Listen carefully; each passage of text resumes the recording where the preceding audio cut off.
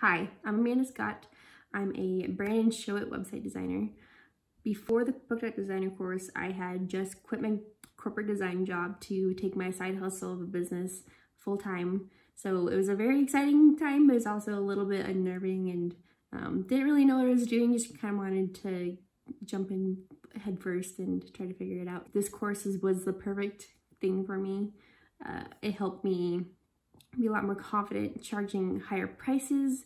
I can help my clients um, through the experience a lot better. Part of charging those higher prices means better income for me and my family. And so I've been able to achieve um, consistently higher months. And even like this month will be my first 10K month. And I'm so excited about that because that means I didn't think I'd be able to achieve that until much, much later in my business. And it happened. Uh, another part of that confidence is being able to show up on, on Instagram and um, show my face, which is like a huge fear of mine. So I've been able to show up consistently, offer great content, connect with other business owners, connect to people that I eventually want to work with.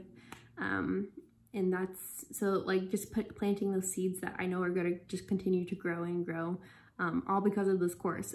But my favorite part of the course was definitely the client experience module. Uh, I loved how Elizabeth started all the way from the lead process all the way to helping them launch successfully um, and pulling back the curtain on everything like like way more than I expected her to kind of dive into and it's been so helpful to help me refine my process and really ensure that I'm serving my clients in the best way possible. I have to mention the other part of the course that's been like one of my favorite things is the Facebook community.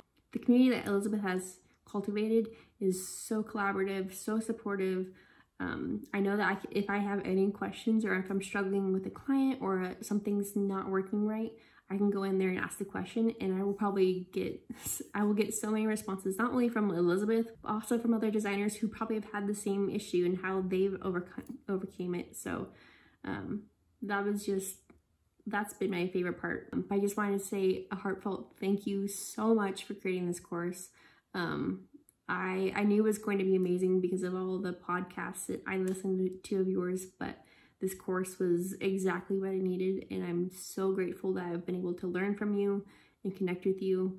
Um, and I'm so excited for all the things that are coming in my business because I know there's so many new things that I'm ready to tackle because of the course and because of the tools that you've given us through the course. So um, just thank you, thank you, thank you so much. Um, so grateful for you.